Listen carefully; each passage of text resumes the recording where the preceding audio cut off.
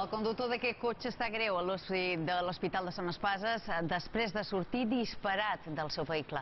Se sospita que no duia posat el cinturó de seguretat. A nit, poc abans de la mitjanit, quan es dirigia a l'aeroport de Palma per la vida cintura, xocà contra les barreres de seguretat i la força de l'impacte provocà que el cotxe fes diverses voltes de campana. En una d'aquestes, l'home sortí llançat de l'interior del vehicle.